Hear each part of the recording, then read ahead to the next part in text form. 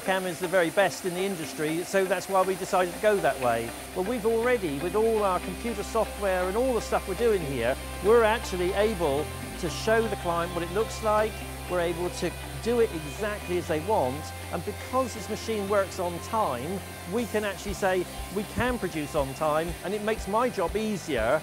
What people are asking us is to do bigger and better with accuracy, so that we do repeat items that are absolutely identical. And whereas in the old days we would hand carve each item for you and they would almost like, these rabbits would look like cousins, but actually people now want identical items and this is why we've spent this money to afford this machine.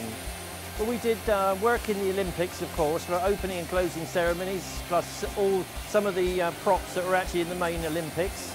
Uh, we work for major um, high street stores like Gap, Harvey Nichols, Selfridges, Harrods, all of those really posh stores, right down to little individual private stores where we do one-off um, jobs for them.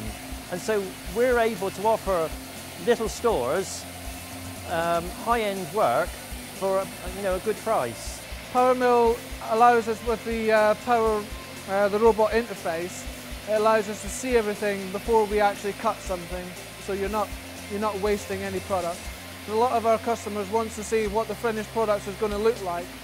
Therefore, we can send over a little bit of video footage of the simulation and nine times out of ten we get an answer there and then said yes or can we change this, can we change that. This is a 500ml uh, bunny rabbit for a retail store.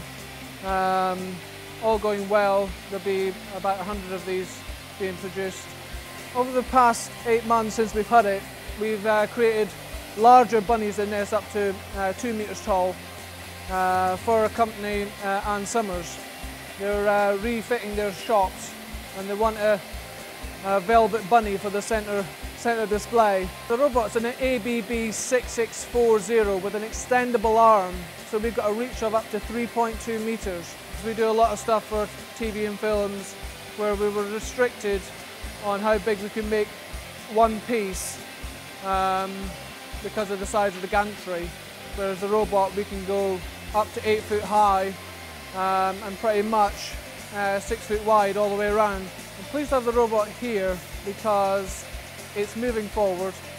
It's the way the world's going.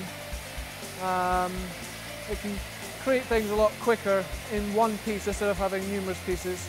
Robin's been down uh, to install the new uh, 2013 software with the new robot interface all built in, which is ideal because instead of having only open up one project, you can open up numerous because the robot interface is linked to that one. There's a new feature on the 2013 robot interface called part positioning, where you can put a part, do a quick calculation, um, you can then bring in whatever cut file you want and place it into that part. It's so much easier than trying to have to find a work plane because uh, you're already using the original work plane. It's, just so much easier. Whenever I've had to phone up the support, they've always been very helpful. If they couldn't figure out there and then upload the uh, files, they would then run it through on their software and see where the problem um, lies with Delcam and with CNC Robotics, clients are now getting to wanting bigger and better. And so we have to be in that market, otherwise we would not survive. We make some fantastic stuff and it's always nice to see the smile on the customer's face when, when we uh, take it up there.